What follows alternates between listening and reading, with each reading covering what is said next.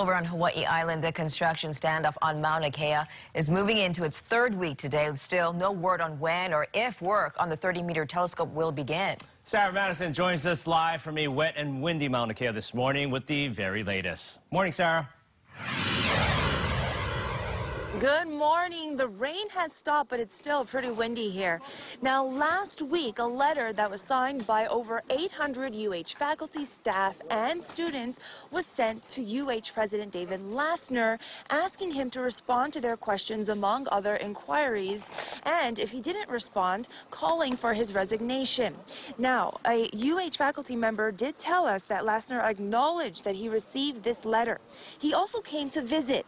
Yesterday, UH President uh, visited the Mauna. Although it was a short visit, less than an hour, he said he had a warm welcome. Lassner, who declined to comment on our questions, says he wanted to be here and feel their spirit. I'm committed to try to find a peaceful way forward for all of the people of Hawaii. And that requires that I understand better than I did before I came here. We're happy that he came to visit. We think he, we hope that he experienced Kapu Aloha and got to see for himself what uh, what Pu'u Hulu Hulu looks like, what our Pu'u uh, Honua looks like, and and I think he felt that. But it's not the place or the time for us to engage in any any other discussion, so that wasn't on the agenda.